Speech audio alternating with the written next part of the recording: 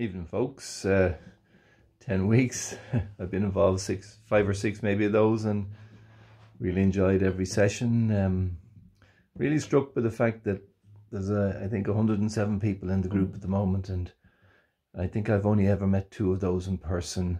And uh, I met Richo 40 years ago and haven't seen him since. Um, but I still feel I know so many people. Um, and I started playing around with a song a couple of days ago that just describes what the whole session uh, means to me. And uh, Mick McGovern made a comment about this a couple of weeks ago, maybe.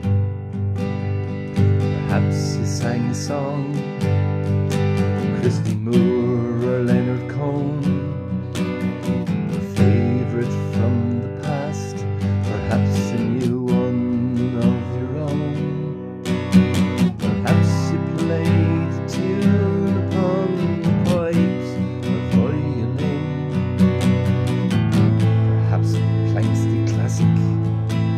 or an acapella hymn.